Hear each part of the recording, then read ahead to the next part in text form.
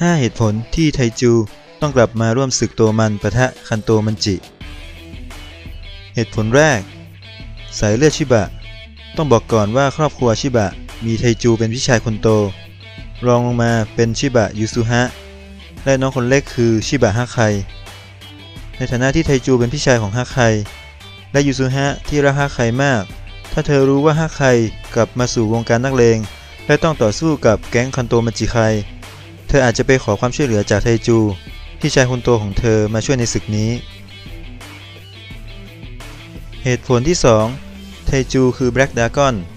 แม้ว่าจะเป็นรุ่นที่ 10 รุ่นก่อนหน้าทาเคมิจิ แต่ในฐานะรุ่นพี่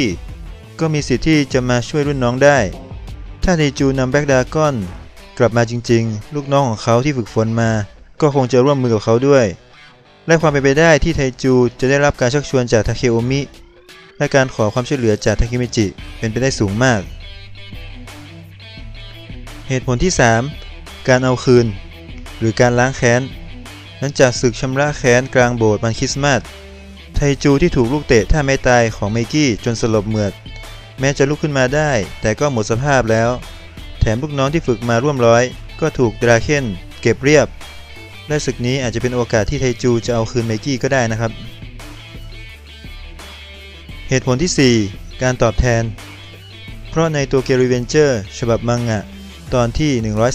133 เป็นตอนหนึ่งของภาคเทนจิกุ ในตอนนี้ไทจูขอรับมือกับอดีตคนของแบล็กดราก้อนที่เป็นส่วนหนึ่งของแก๊งโตเกียวมันจิไคชั่วร้าย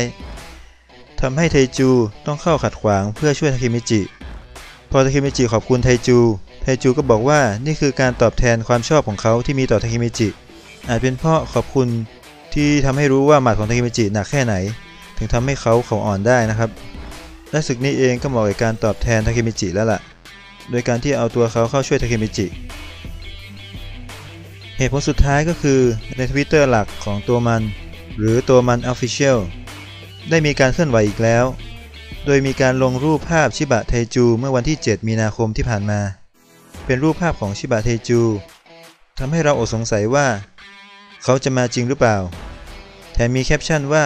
การรวมตัวในรอบหนึ่งปี เอ๊ะแบบนี้ไทจูคงต้องมาแล้วล่ะ